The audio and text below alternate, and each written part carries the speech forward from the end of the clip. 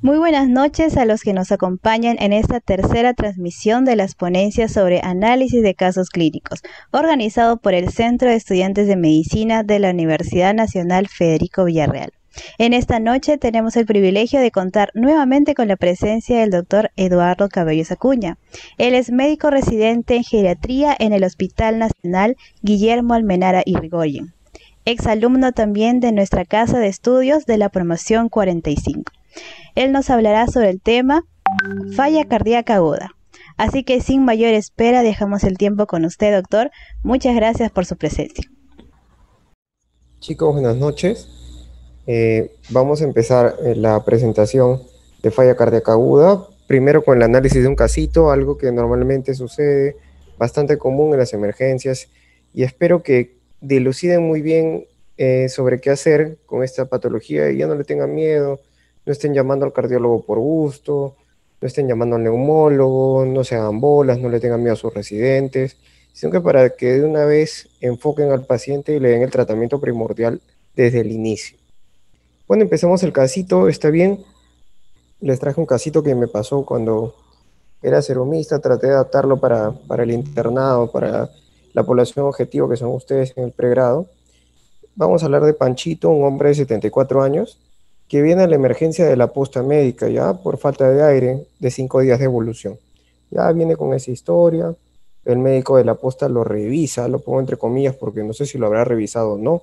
Duden siempre si lo han revisado porque eso es un clásico en las postas, llegan, los pacientes lamentablemente son vistos en la consulta, los miran, les indican y los mandan a casa. Miren, lo revisó y le diagnosticó neumonía. ¿Qué criterio habrá, si habrá hecho el, el CURB 65? Bueno, URE ya no se usa, es el CRB 65, el PCI, ¿qué escala habrá usado? Pero neumonía. Ya está y todavía ponen típica, típica, cosas que ya no se usan para, para los adultos, ¿no? Eso creo que queda para pediatría, eso sí, la verdad no sé, pero al menos en, medicina interna y en geriatría, neumonía típica, típica es un término patológico, ¿no? De anatomía patológica, más que realmente una clasificación clínica. Entonces le dice que es neumonía, listo. Le inicia tratamiento con penicilina besantínica. Pucha madre, que el viejito de seguro era de esos peligrosos que le gustaba irse a divertir los sábados por la noche, ¿no? Le da besantínica 1.2 millones intramuscular cada cuatro horas por dos días. que la dosis encima, ah, súper bueno. Ya, así van a encontrar y les va a suceder. Le da de alta, pero le da cinco días de amoxicilina. Ah, ya, o sea, miren, el paciente llegó por falta de aire, lo revisó, neumonía, le inicia antibiótico terapia, le da de alta y encima le da amoxicilina para la tos, como siempre es, ¿no? pucha, ya, Panchito va a su casa, cumple su medicación, algo que no sucede normalmente a esa edad y menos en el Perú.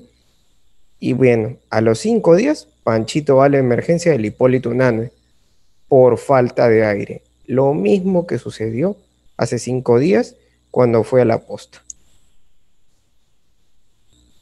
Bueno, ¿y qué han hecho en la posta? ¿Qué hicieron? yo soy calamardo en este caso, ¿no?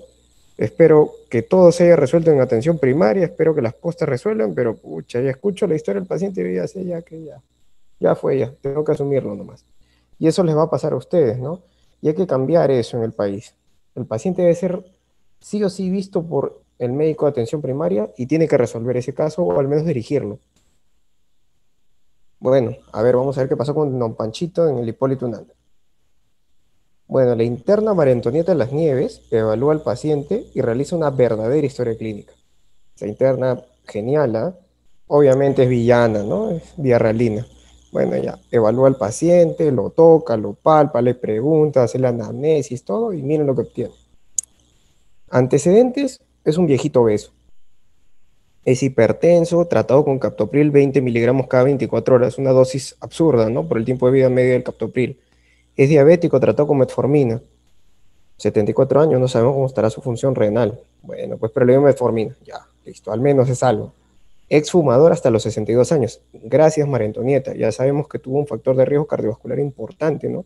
No sabemos desde cuándo, está a medias, claro, es una historia que está hecha en emergencia, no esperen una historia clínica prolija, ¿no? Pero al menos ya me dirigen, ¿no? Tiene factores de riesgo cardiovasculares bastantes, ¿no? Diabético, hipertenso, obeso, fumador, y prácticamente es la pregunta que viene en el ENAM. Pero así es, pues, ¿no? Sucede, sucede, siempre, siempre sucede. Así van a encontrar una buena historia, bien dirigida, va bien. Y bueno, cuando hacemos este, el relato cronológico, vemos que tiene un tiempo de enfermedad de 10 días, con un inicio insidioso, con un curso progresivo, no es que ha sido abrupto, poquito a poquito ha ido avanzando la enfermedad hasta que lo trajo a la emergencia. Pero es agudo, ¿no? Tiene 10 días, es agudo. Bueno, los síntomas y signos principales fueron una disnea, encontró disnea paroxística nocturna y tos.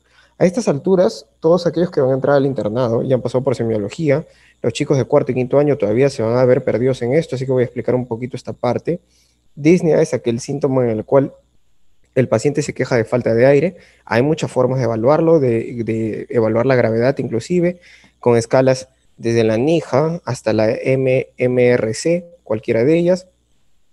Y de esta manera podríamos definir pues, cuál es la intensidad de la falta de aire del paciente. ¿no?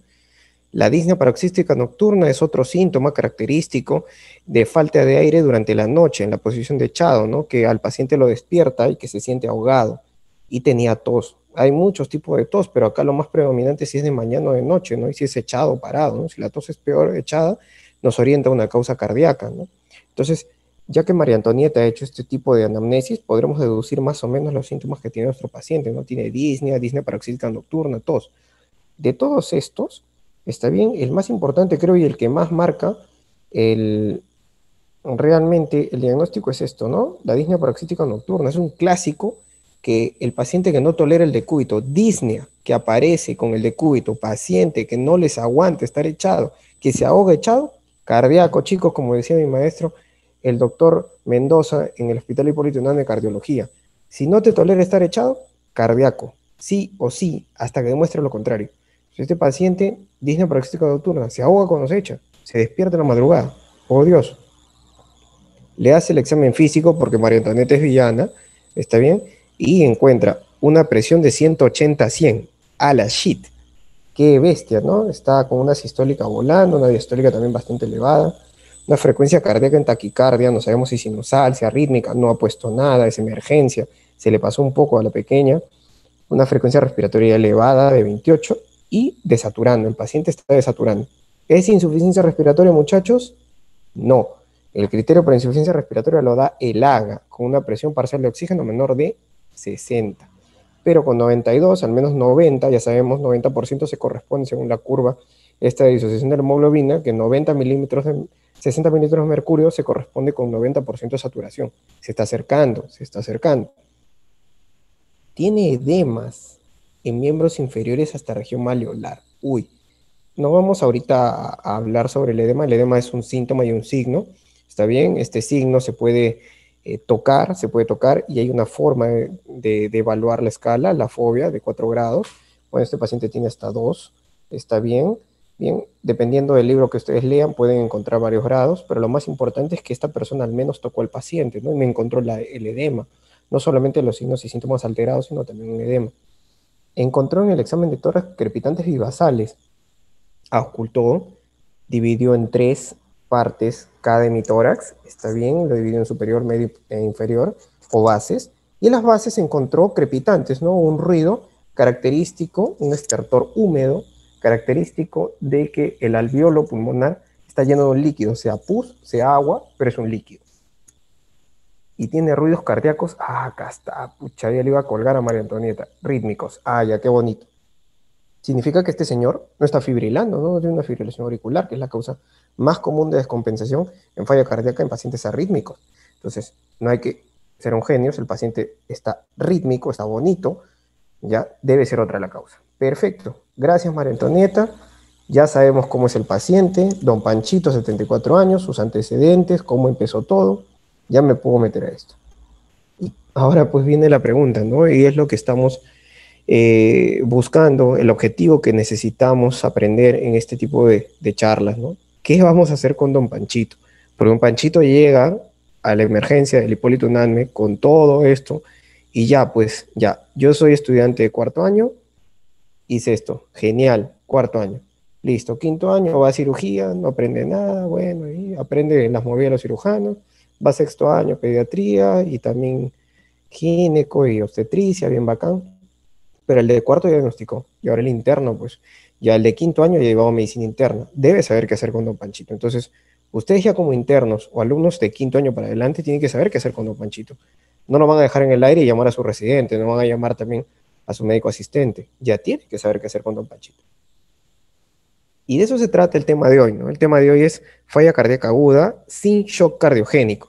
Y esto es importante porque el shock cardiogénico, ustedes ni yo lo vamos a tratar. Gracias a Dios yo tampoco.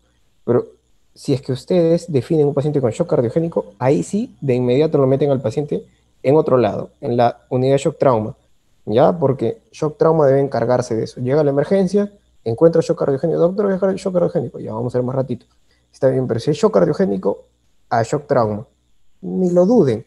Encuentro shock cardiogénico, voy ahí. Por definición, shock, hipotensión, ¿no? Con otros síntomas. Llega don Panchito y lo encuentro hipotenso, no voy a hacer un genio, es un shock cardiogénico o cualquier tipo de shock, pero está en shock. Todos los shock, directo, todos los choques, paciente chocado, unidad shock trauma. Por eso se llama shock, shock trauma. Está bien, todos los chocados van ahí. Bueno, entonces, ¿qué es la falla cardíaca aguda, no?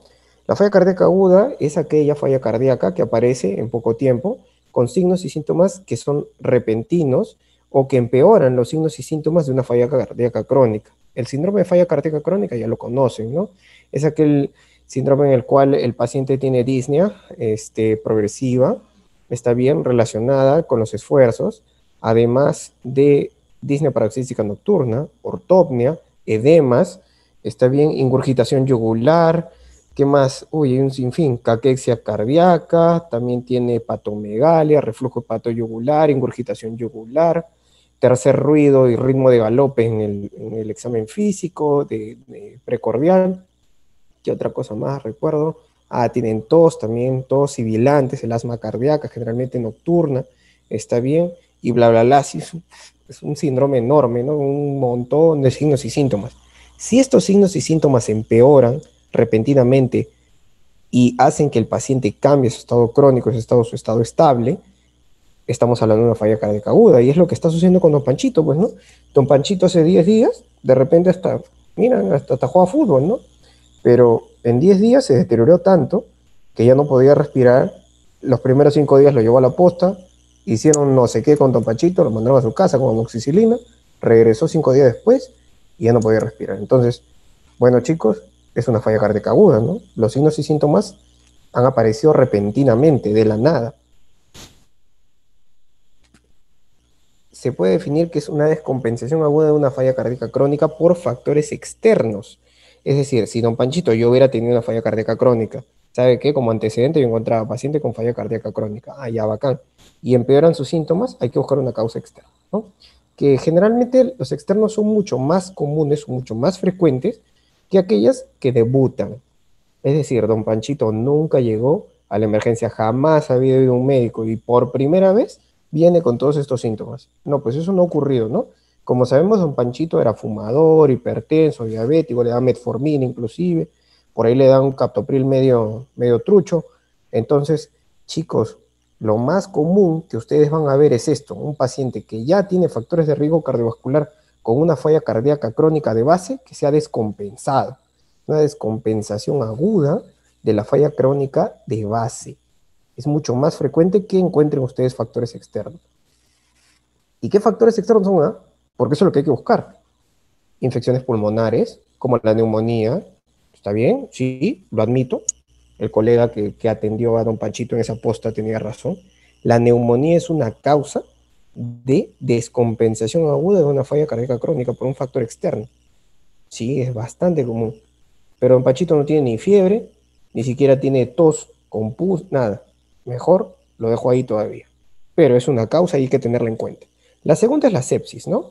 La sepsis que puede ser de cualquier lado, ¿no? Punto de partida abdominal, si el paciente está con colangitis y tiene un corazón que ya está fallado, de hecho que ese corazón no va a poder trabajar al mil por ciento, ¿no? no va a poder ni llegar a taquicardia, se va a descompensar de inmediato. Entonces, si el paciente tiene una pancreatitis, ya con absceso, pucha, peor todavía, ¿no? Un aguón terrible. Si el paciente tiene, por ejemplo, una diverticulitis, frito, ¿no? Y ese sepsis, una peritonitis, frito. La hipertensión no controlada es otra causa, muchachos. Si tengo un paciente hipertenso que deja de tomar sus pastillas o no las toma bien, o el médico es un tonto, o una doctora que es muy, muy, muy tonta y le da medicaciones inadecuadas, el paciente no va a controlar su presión y va a terminar haciendo una falla cardíaca aguda. Las arritmias, tanto las taquicardias, arrítmicas con la fibrilación auricular, las rítmicas como el flúter, ¿no? Este, como la taquicardia supraventricular, paroxística, ¿ya? O las bradicardias como los bloqueos, todas ellas, cualquier arritmia, cualquier problema de ritmo, va a descompensar una falla cardíaca crónica de base. Y la más común en geriatría, y quizás en medicina interna también, la mala adherencia al tratamiento, ¿no? Es bastante común ancianos con, buen apoyo social, con un nivel cultural alto, ¿no? El paciente sí puede entender lo que tiene que tomar, pero no le interesa, ¿no? Y tiene mala adherencia, no quiere, no le gusta, no le gusta tomar pastillas, no las toma, se descompensa, frito. Entonces, esas cosas suceden y hay que buscarlas, ¿no? Porque si don Panchito está así, yo voy a tener que buscar una infección pulmonar, voy a tener que buscar una hipertensión no controlada, arritmias y una mala adherencia al tratamiento, ¿no? Hay que preguntar, señor, ¿usted toma sus pastillas? Le apuesto que le digo, sí, doctor, sí, doctora, todos los días tomo. En la vida real no. Hay con un familiar siempre. Y las causas internas de aquellos pacientes debutantes por primera vez son estas, ¿no? La isquemia, la miocarditis, la cardiotoxicidad.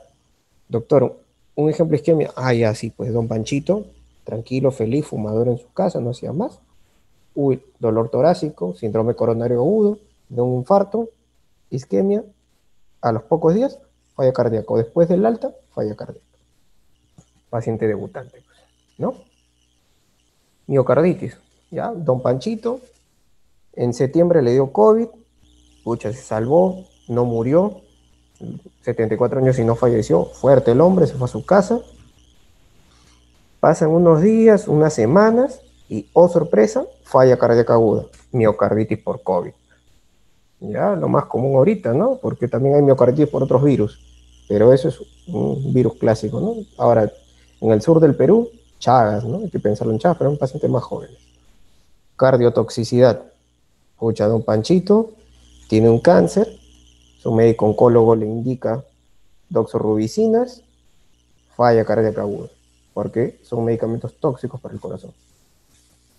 Don Panchito está tranquilo y de él tenía una insuficiencia aórtica y la insuficiencia se abre más, falla cardíaca aguda. Don Panchito tenía TB, hizo derrame, se taponó por tuberculosis, por derrame tuberculoso, por falla cardíaca. Don Panchito tiene un cáncer, un estado procoagulante, un coagulito de las venas disparó al pulmón, el pulmón obstruido, el corazón derecho no tiene cómo bombear hacia este, el pulmón, tromboembolismo pulmonar, don Panchito se falla cardíaca aguda. Entonces, de estos dos, en nuestro caso que acabamos de ver, don Panchito de 74 años, lo más común es esto. Falla cardíaca crónica descompensada por factores externos. Y tengo que buscarlo. Y esa es misión de ustedes, buscarlo. Tienen que encontrarlo. Si no lo encuentran, recién se pueden buscar esto. Bueno, ¿y cuáles son las causas más frecuentes? Aquí tienen toditito, ¿no?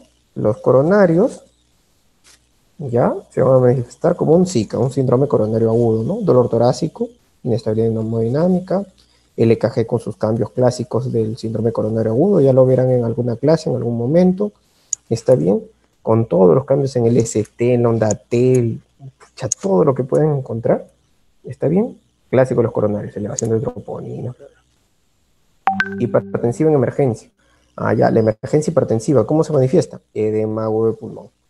Le tomo una placa, Dios mío, edema de pulmón, dos tercios del pulmón comprometido. Arritmias clásicas, fibrilación auricular, pues con respuesta ventricular alta, esas fibrilaciones auriculares que llegan hasta 180, 200, le das medicina sin nada, no bajan. Ya, la falla cardíaca mecánica es una complicación clásica del, de la ruptura de algunos músculos papilares en el caso de infartos. Otros son las endocarditis agudas, ¿no? Y eso sí, sí es bastante raro, pero si, si hacen un hospital grande como el Hipólito, lo hay, el 2 de mayo, el almenara o el reba, bueno, el reba no tanto, pero mentira. Sí, este, cualquiera de esos realmente van a ver endocarditis aguda. La disección aórtica, bueno, la literatura lo nombra, yo nunca lo he llegado a ver, creo que sí, sí lo vi de, estudiante, pero bueno, no le presté atención. La falla valvular aguda, ¿no? Esas insuficiencias mitrales por culpa de los infartos. Y el embolismo pulmonar, un clásico, que falla el ventrículo derecho. Estas son las causas más frecuentes, ¿está bien? Por orden, si se dan cuenta, este, no aparece la neumonía, ¿no? Estas son causas de esto de aquí, de los debutantes. Entonces, ¿cuál tengo que ver yo? Esto de acá porque esto es lo más común en el Perú. ¿Está bien? Las infecciones pulmonares, la sepsis desde el punto de que quieran, la hipertensión no controlada, la estaquia o arritmios y una mala adherencia al tratamiento. Hay que diferenciar, chicos, la falla cardíaca aguda hipertensiva con presión alta de la normotensiva con presión normal y de la hipotensiva, por favor, ¿ya?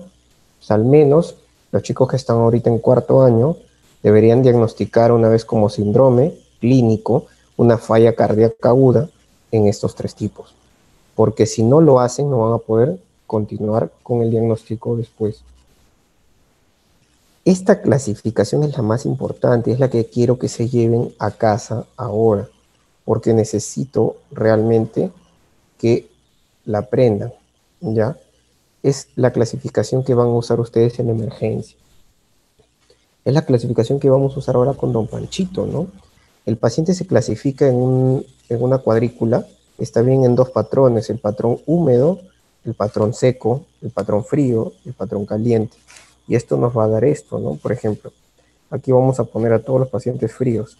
Frío no significa muerto, por si acaso. Y acá vamos a poner a todos los calientes. ¿Está bien? Listo. Doctor, ¿cómo diferencio frío de caliente? Ah, ya. Los fríos, solo tienes que aprender uno, los fríos. Los fríos tienen hipoperfusión. Doctor, ¿qué es hipoperfusión? No llega sangrecita a los tejidos, nada más. Y eso se manifiesta con signos clínicos. Y tú como médico tienes que tocarlos, palparlos, buscarlos en el examen físico. Toco a Don Panchito, extremidades frías. Pucha, pobre Don Panchito. Encima lo toco sudoroso. Veo que hay oliguria. Le digo, señor orina, no, doctor, como tres días que no orino. Oliguria. Confusión mental, don Panchito, ¿me responde? Nada, está dormido, en delirio, delirando. Mareo, un clásico de los viejitos, ¿no? Presión de pulso estrecha. ¿Qué es la presión de pulso? La diferencia entre la presión arterial sistólica y la diastólica. Si las presiones 100, 110 menos 70 es pequeña, por ejemplo, un 80-50, solo 30 diferencia. Ah, eso es un signo de hipoperfusión. Y si el paciente está hipoperfundido, es un paciente frío. ¿Don Pachito está frío? Según el examen físico que hemos visto, no tiene nada. Y el caliente es todo lo contrario. Si no encuentro nada de esto, es caliente. Sencillo, es dicotómico. O es uno o es el otro. Y lo otro que tienen que aprender es el paciente seco del paciente húmedo. Bien, Vamos a ver, doctor, ¿cuándo es seco, cuándo es húmedo? Aprende solo uno. Vamos a aprender el húmedo, que es el más común. Acá está.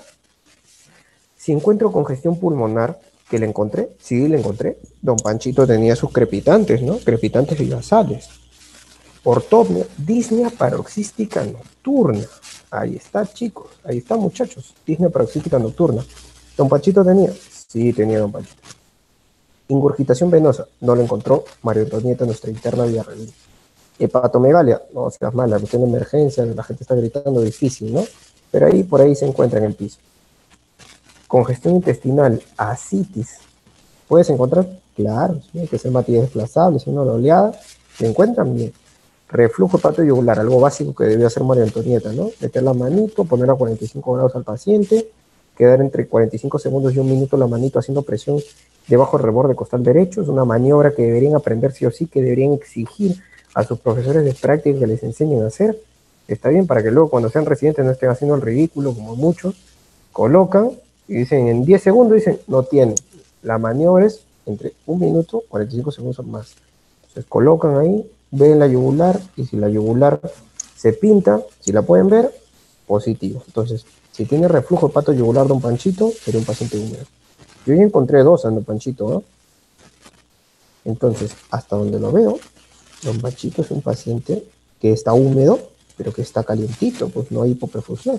Entonces, don Panchito es un paciente húmedo caliente o caliente húmedo. Y resulta, muchachos, que esto es lo más común en el mundo y en la emergencia. Tenemos suerte entonces, ¿no? Si yo aprendo muy bien los síntomas de congestión y los síntomas de hipoperfusión, yo voy a poder clasificar a mis pacientes. ¿Por qué? Ah, pues porque todos los pacientes congestionados se van a tratar de una forma y todos los pacientes fríos se van a tratar de otra. Todos los pacientes fríos siempre van a ir a UCI. Si yo encuentro esto, yo ya debo hacer mi interconsulta en la UCI. Entonces, espero que llegue mi residente y le digo, doctor, ¿sabe qué? El paciente tiene un patrón frío, está hipoperfundido. Ya le hice la interconsulta UCI. Tu residente te va a mirar y va a decir, ¿de qué promoción de Villarreal eres? Así te va a decir de frente. Tú le dices tu promoción. Listo, te sella tu interconsulta y que la UCI lo vea. Bueno, dependiendo del servicio donde estés, ¿no? UCI, la UCE también, unidad de cuidados especiales de emergencia. La cosa es que sí o sí va a necesitar terapia intensiva. En cambio, los pacientes húmedos no siempre van a UCI. Solo van a ir a UCI cuando esté intubado o tengas necesidad de intubación. O de repente tienes una, frecuencia respiratoria de más de 25, una saturación menos de 90. Uy, mira, sí, pues, ¿no? Don Pachito está con 28, ya está para, para meterlo a UCI, ¿no? Ya va para máquina. Sí, pues, los viejitos se agotan y van para máquina.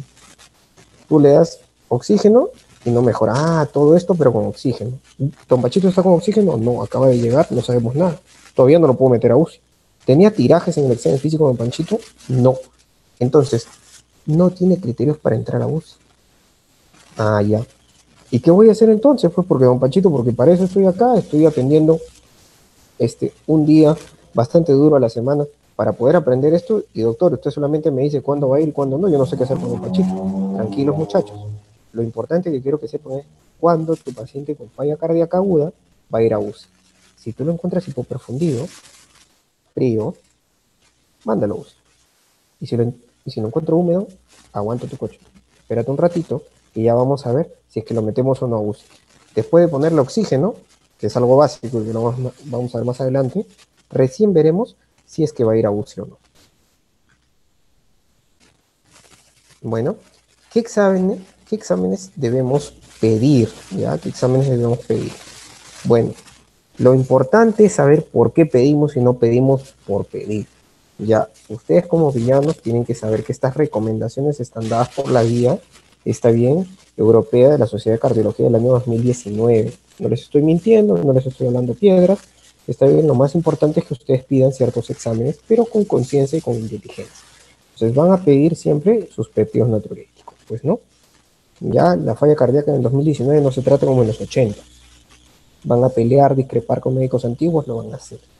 Entonces, una nueva generación, yo también lo soy, y tenemos que sí o sí eh, evolucionar, ¿no? Hay que pedir ProBNP, chicos. ProBNP es importantísimo, ¿no? El, extremo N terminal es importante, está en la mayoría de, hospitales en el país, de hospitales nivel 2, 2 para arriba. Así que si es que alguien de provincia está viendo, sí lo van a encontrar. Tengo colegas que conocí del Hospital Regional de Purima, que conocí de este, del Almanzor de, de Chiclayo, de Tarapoto también. Entonces, en muchos hospitales van a encontrar el ProBNP. ¿ya? Y el ProBNP es importante que sepan ustedes. Ustedes tienen que entender que el ProBNP sirve para diagnosticar falla cardíaca aguda. No, no sirve para diagnosticar falla cardíaca aguda. Sirve para descartarla. Si a mí me sale un ProBNP de menos de 300 con todos los síntomas, yo tengo que pensar que, que mi paciente debe tener otra cosa. De repente el médico del apóstol tenía razón, tenía neumonía. Yo, yo soy un tonto. Pero si me sale más de 300, no me confirma nada, lo que manda es mi clínica, lo que manda es lo que yo sospecho de acuerdo a lo que yo he encontrado. O sea, el ProBNP tiene un valor predictivo negativo muy alto. ¿Está bien? ¿Saben quién más tiene un valor predictivo negativo muy alto? El EKG. Si yo veo un EKG, cuando yo le pido el EKG a mi paciente con insuficiencia cardíaca aguda y lo veo normal, es muy raro que ese paciente tenga una falla cardíaca aguda. Probablemente sea una neumonía de verdad y el colega siempre tuvo la razón. Pero el EKG generalmente te va a mostrar algo. Así que siempre hay que pedir. Hay que pedir una radiografía de tórax, ¿está bien? Para evaluar los signos de congestión pulmonar, porque yo puedo escuchar mis crepitantes y pero también tengo que objetivarlo, porque de repente yo también puedo estar alucinando, ese día escuché tantos que de verdad lo estoy alucinando, ¿no? Con esto el COVID a todos les encuentro todo, mejor le tomo su plaquita. Si le encuentro congestión pulmonar, oh Dios mío, esto es una, este, es una falla cardíaca aguda probablemente, ¿no? Además me sirve de algo, porque si yo le tomo la placa y encuentro una bola y una masa ahí que agarra todo el pulmón derecho, ah, ya este tiene un cáncer de pulmón, y yo como tonto pensé que es una falla cardíaca, listo. Entonces, puede ver causas no cardíacas también, ¿no? Otras causas cardíacas puede ver, claro que puede ver, ¿no? Puede ver pericarditis, puede haber derrame pericárdico, otras cosas que se pueden ver en la radiografía. Doctor, pero yo quiero tomografía. Tranquilo, muchacho, tranquila, chica. Sí, pide tu tomografía, pero primero la radiografía. Sale más rápido, menos radiación, costo bajo, rapidito sale el paciente. Además, no todos los hospitales tienen tomo, ¿no? O una radiografía y ya puedo saber algunas cositas. Y de laboratorio, doctor, ah, ya, las troponinas, pues, muchachos. Le pido urea y creatinina. ¿Para qué pido eso? Pues si el paciente tiene un problema renal, ese corazón no va a trabajar igual, ¿no? Es obvio. Doctor, le pido electrolitos. Sodio, potasio. Bueno, si es que han visto la clase anterior, el sodio tiene este, la hiponatremia, está relacionada a falla cardíaca, sobre todo la hipervolémica, hay que darle tratamiento. El potasio hay que pedir porque cuando está elevado produce arritmias, cuando está bajo también produce arritmias, así que siempre hay que pedirlo. Glucosa, porque de repente es un paciente diabético descompensado y nosotros como tontos ahí buscando la causa. Total era diabético el condenado, con razón pues era un factor de riesgo cardiovascular. Si era una falla cardíaca, le da peso a mi diagnóstico. Hemograma, doctor, ¿para qué voy a pedir hemograma? Oye, si de verdad es una neumonía, no que habíamos visto que las más comunes, de las causas más comunes eran las infecciones pulmonares, tiene leucocitos en 15.000 y y le falta el aire, no voy a ser un genio, pues no voy a decir que es COVID, el COVID no le va a los leucocitos, pues no sean malos, ¿ya? Entonces, lo más probable es que sea una neumonía también. O de repente una infección urinaria que también eleva leucocitos. El hemograma no va a ayudar un montón si está infectado, ¿no? le tomo su prueba de función hepática, ¿no? TSH también, un poco raro para pedir, pero los mixedemas también producen congestión pulmonar. Y las pruebas de función hepática, ¿por qué? Ah, porque una falla cardíaca crónica de mucho tiempo hace algo que se llama congestión pasiva crónica. Entonces, se acumula líquido de forma retrógrada y de la vena cava va para atrás. Entonces, por ahí cae en el hígado, el hígado se congestiona y termina elevando AST, ALT, ¿no? Las enzimas de función, de función hepática. Le vamos a hacer una ecocardiografía inmediata para los pacientes que están hemodinámicamente inestables. Ustedes se acuerdan de esos pacientes fríos, fríos, hipotensos, mal perfundidos, oliguria, con, confusos, todos esos pacientes, ¿ustedes a dónde lo llevan? A UCI. Se va a UCI, el cardiólogo tiene que ir a la UCI, hacerle su ecocardiografía, le va a poner el ecocardiógrafo, la ecografía cardíaca y verá cómo va la situación en los primeros dos días. ¿Es chamba de ustedes? No es chamba de ustedes. ¿Lo van a aprender? hay que saberlo como cultura general porque son villarrealinos, ¿no? ¿Cómo debemos actuar? Doctor, ¿qué es esto? Por Dios. Ah, bueno, es para, para poder ver por acá. Vamos a acercar. Aquí vemos, ¿no? Paciente con sospecha de insuficiencia cardíaca aguda. Lo primerito que tengo que definir yo. ¿Es shock cardiogénico o no es shock cardiogénico? O sea, ¿es tipo tenso o no? Sí, sí, tipo tenso. Ya, ¿a dónde se va? Bueno, se va a la UCI, ¿no? Completito. Luego me pregunto, no, no tiene shock cardiogénico, está normotensivo con mi amigo Panchito. Tiene insuficiencia respiratoria, es decir, saturación menor de 90 con todo y con el AGA.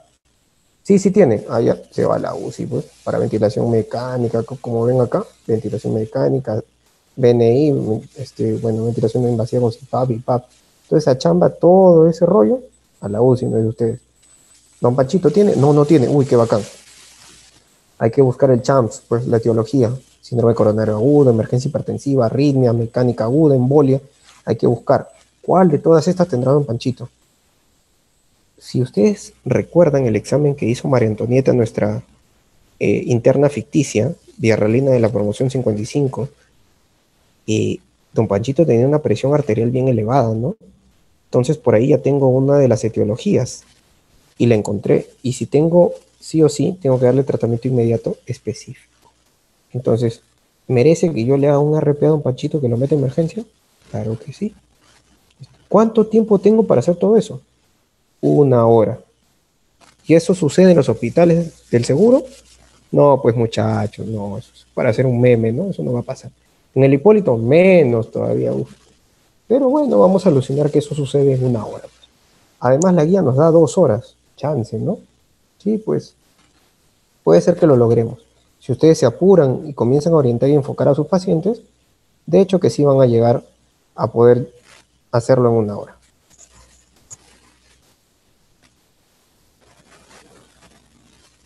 No sé cómo salir de esto. Ahí está, ya está. Entonces, ¿cuál es el tratamiento general que le voy a hacer a don Panchito? Lo primerito, chicos, don Panchito está desaturando, está desaturando, le falta oxígeno, hay que darle apoyo ventilatorio. O dos, cuidado porque es vasoconstrictor. Si le doy mucho oxígeno, lamentablemente voy a constriñir las, los capilares pulmonares y puedo producir hipertensión pulmonar. Si produzco hipertensión pulmonar, el corazón derecho no va a poder bombear y vencer la resistencia vascular pulmonar. Y en ese momento el corazón, si ya fallaba mi corazón izquierdo, quieren que falle el derecho, también no sean malos, pues, ¿no? Bueno, hay gente que le gusta la guardia, a mí no. Entonces, si quieres tu guardia bien fresh, tranquilo, el oxígeno le vas dando de a poco y monitorizas con el AVE con tu pulso oxímetro. Pues. ¿Ya? Para tenerlo en 95% más o menos, una presión parcial de oxígeno 82, 83 a gente que quiere 100 de presión parcial. Luego terminan que ¿no? Y acá hay un ejemplo, ¿no? Estos son de bajo flujo, mira acá uno de bajo flujo, uno por cándula y otro por máscara. Acá su mascarita sin reservorio, ¿no? Estos son bajo flujo, ustedes le colocan la que vean adecuada, ¿está bien? Y nuestro don Panchito va a estar mejor. Está un Panchito, está más tranquilo. Y doctor, ¿qué le voy a dar? Bueno, le voy a dar diuréticos, pues. Es el tratamiento general, muchachos, el que tienen que aprender, porque yo les estoy enseñando del patrón húmedo caliente, el, el patrón húmedo, congestivo y caliente, es decir, que no está frío. En pacientes fríos, ustedes deben evitar los diuréticos sí o sí, pues porque los pacientes fríos, ¿a dónde van? Siempre los pacientes fríos van a la UCI, a shock trauma. Los pacientes fríos no los ven ustedes. Entonces, a los calientes, húmedos, yo los veo, ustedes los ven, todos los vemos, ¿ya? Van a usar diuréticos. Bueno, la diuresis de agua y sal por vía renal tiene un excelente efecto para el control de los síntomas, ¿no? Y tiene un ligero efecto vasodilatador. Entonces, los diuréticos de asa son los preferidos, se pueden usar en bolos o infusión endovenosa. Y son la primera línea porque son los mejores, ¿no? Entonces, un diurético de asa clásico, la furosemida, torpedemida, este ácido ertacrínico, creo que se llama, ¿no? Y así hay un montón, ¿está bien? Pero la furo, pues la furo es la vieja confiable. Con eso ustedes van bien, ¿está bien? Con que sepan ustedes la furosemida, estamos tranquilos. Para mejorar la disnea, pueden combinar ustedes con vasodilatadores, ¿ya? Pero obviamente para darle un vasodilatador, la presión tiene que estar bien, ¿no? Porque si está hipotenso, está frío, yo tengo que estar dando vasodilatador, para que la presión caiga más y luego termine yo con mi paciente en la UCI con un juicio enorme. Así que tranquilos, la disnea no los debe asustar. ¿Está bien? Lo que marca es tu haga, tu saturación, el agotamiento del paciente en el examen físico. Recuerden que la disnea es objetiva y el paciente puede exagerar. Ya entonces, diuréticos de asa para eso, para el paciente congestivo. Si ustedes quieren vencer la resistencia diurética en un paciente que ya usaba diuréticos, Doctor, el paciente ya usaba hidroclorotiazida. En esos pacientes, ustedes deberían combinar ciertos medicamentos, ¿no? Hay ciertas combinaciones, está bien, pero las mejores son furo con tiacidas, como hidroclorotiazida, o furo con. Doctor, ¿yo le voy a dar? No, no, no, tranquilos. Esto no es para ustedes. Ya, esto es cultura general. Que sepan que si con furo no sale, está bien. Lo que sí o sí tienen que hacer es combinar. Y tienen que pedir combinaciones díganle a su médico reciente, doctor, ¿puedo agregarle hidroclorotiazida? Doctor, ¿le puedo agregar espironolactona? Y ya valorará a su médico reciente si le da o no. Ya, cuando ustedes sean serumistas, furo, y sí, pónganle, póngale la mínima dosis, combine, sin miedo, está en la guía, se la guía del 2019, no se asusten, háganlo. ¿Ya? Pero furo van a tener sí o sí en su post. Y si no, compres el afuro acá este, en el Hipólito y llévenselo ya hasta el fin, como yo hice en la frontera de Madre de Dios. ¿Ya? Y con esa se van a salvar de muchos. Bueno, ¿cómo uso yo la furo? Bueno, en los pacientes que son vírgenes, en aquellos que nunca han tenido, bueno, 20 a 40 miligramos en bolo. ¿De cuánto viene la ampolla de furo? 10 en 2 mililitros, o sea, 20 miligramos. Una ampolla de 20 miligramos. Con una sola ampollita está ya tu paciente va a empezar a orinar y se va a descongestionar. Listo. En los pacientes crónicos descompensados deberías darle la misma dosis basal, ¿no? Si tu paciente tomaba 20, dale ese bolito de 20 porque le está faltando. ¿Y los vasodilatadores, doctor? ¿En quiénes voy a usar? Bueno, si la presión está normal, está bien. O si la presión está elevada, en aquellos pacientes calientes, como el caso de un panchito, que tiene la presión elevada, no solamente le vas a descongestionar, hay que bajar la presión. Y para bajar la presión, pues lo que vamos a hacer es usar vasodilatadores. ¿Y qué vasodilatadores son los más adecuados? Nitroglicerina. Pero ahí en el Perú, bueno, es bien difícil de conseguir. Está bien. El isoquet nos va bien, ¿ya? Que es un primito de la nitroglicerina, es el dinitrato disorbide, ¿no? La ampollita le puedes dar un miligramo por hora, así dejas la indicación, y luego pasas a 10 miligramos hora. Pero con esto empezamos. De uno en uno va subiendo. Y esto va a vasodilatar, va a bajar la presión, el corazón va a trabajar menos, porque aumentan la precarga, hacen de que llegue más sangre al corazón, disminuyen la poscarga, le quitan la resistencia a la salida del corazón. Entonces tu corazón se vuelve muy eficiente, ¿no? Y bueno, de esa forma tu paciente mejora su presión y se descongestiona porque abres el caño y comienza a orinar con los diuréticos de ácido. Termina, don Panchito te ha salvado. Entonces, volviendo a la pregunta del principio, ¿qué vamos a hacer con don Panchito? Bueno, este es mi RP, una dieta con restricción de líquidos. Eso es lo que tengo que dejarle. ¿Qué, doctor? ¿No lo voy a poner en NPO? No sean malos, pues qué abusivos. El pobre viejito, ya de seguro que no ha comido en cinco días por lo que se ahogaba y ustedes quieren dejarlo en NPO. Denle dieta, no se va a morir. Denle dieta, pero denle con restricción de líquidos, ¿no? Darle con restricción de líquidos. Volumen total, bueno, el volumen total, sí, bueno, los geriatras nos gusta tener muy bien claro eso, de 30 a 50 kilocalorías por kilo de peso, nos gusta pesar al paciente, lo calculamos así. De una forma práctica, 800 cc, ya, 800 cc, está bien restringido ya. 800 mililitros, que equivale a una presa de pollo y una cuchara de arroz. Pero aunque ustedes no lo crean, eso calidad para el paciente. No come como 10 días, seguro. Furosemida, 40 miligramos en bolo, stat. O sea, si cada ampolla es de 20, dos ampollas de 20, pues.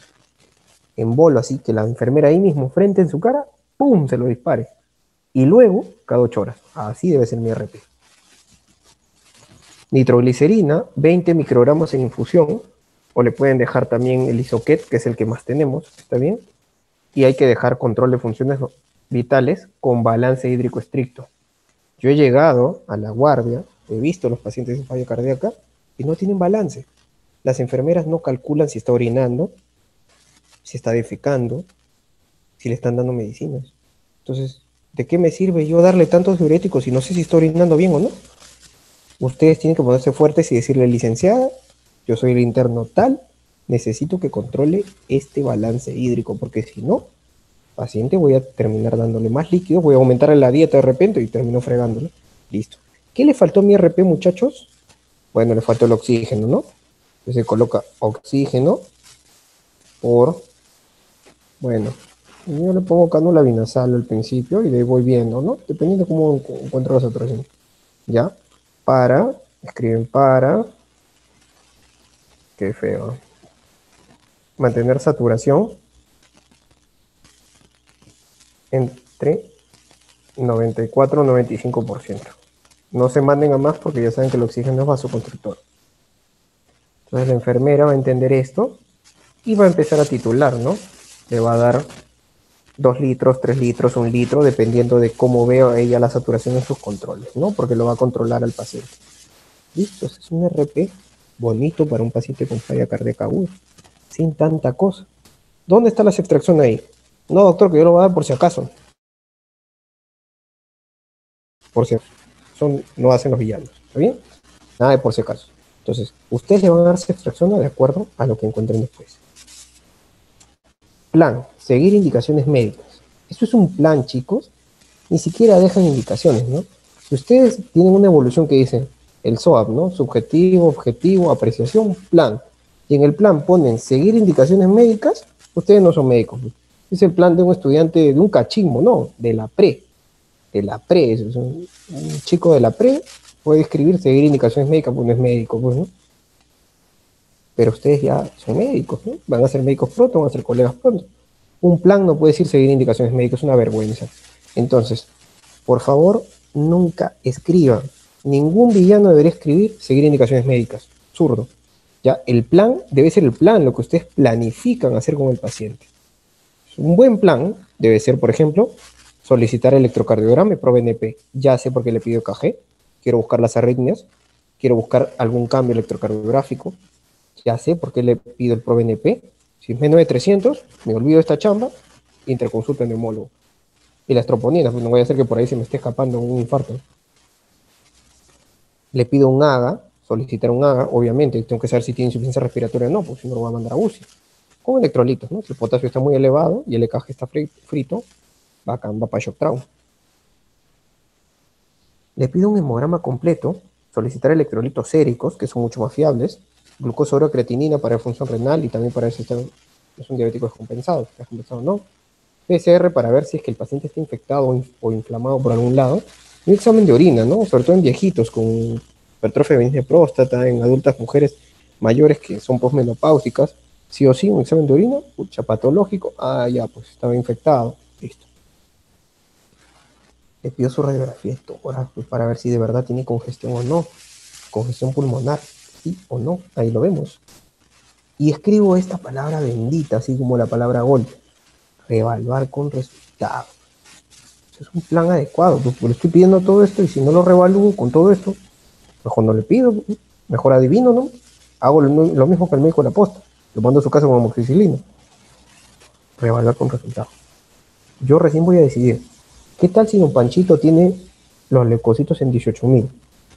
con, no sé, pues desviación con neutrofilia y desviación izquierda. Tiene el EKG alterado con un infarto de miocardio. Y por ahí encuentro una creatinina en 7, con un potasio en 7.8. Paciente está chancado, pues ¿no? no va para mí. Entonces las decisiones son diferentes. Pero bueno, pues miren a don Panchito, es su EKG. Qué bonito. Por acá podemos ver. A ver, vamos a ver acá en la dirección de 2.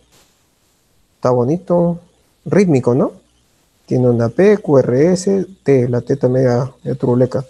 Onda P, QRS, la T media turuleca. Uy, acá me di cuenta ya que la T invertida. Este paciente ya tiene un EKG patológico. Y si tiene un EKG patológico, lo más probable es que sí tenga una falla cardíaca aguda. Luego evalúo por acá. Bueno, esto ya no es objetivo de la clase, pero es importante que lo sepan. Hay un índice que se llama Sokolov, ya en el cual nosotros podemos sumar ciertas ondas, una R más una S en ciertas derivaciones, estas ondas de acá, está bien, ya por ahí con una onda S de por otro lado, y si esa suma, está bien, acá B1 en realidad con B6 o B2 con B5, ya eso es otra clase, este, se suman y sale más de 35, el Sokolov de más de 35 me dice que este paciente tiene una hipertrofia cardíaca sí o sí, ¿no? Lo más probable es que sea una cardiopatía hipertensiva este paciente ya tiene un corazón fallado. Entonces, ya este cajeo en Panchito está frito, ¿no? Yo ya sé que está mal. ¿Voy a llamar al cardiólogo? No. Escucha, será para que el cardiólogo se burle de mí. Pero al menos puedo escribir en mi evolución EKG patológico por tal tal motivo. Aumenta la probabilidad del diagnóstico de falla cardíaca. ¿Cómo fue la radiografía de tórax de Don Panchito? Pucha, este pulmón parece que disparara desde el corazón un montón de manchas blancas, ¿no? Este patrón se llama patrón en alas de mariposa. Y es un clásico de la falla cardíaca aguda. Pero también es un clásico de otras enfermedades, ¿no? Como neumonía por neumocitis y bla, bla. Pero así lo ven. Doctor, me quiero tomar un TAC. miren cómo se ve el ataque, ¿no? El ataque, el patrón sugestivo, se ve así, como vidrio ilustrado. Pero el vidrio ilustrado es como la semiología, ¿no? La semiología de las imágenes. No significa que de verdad tenga falla cardíaca, puede ser otras cosas. Doctor, de repente es COVID. No, pues esto es COVID. Tampoco es así. Se parecen, pero no tanto. ¿El COVID se ve así? Sí, pero más rostro.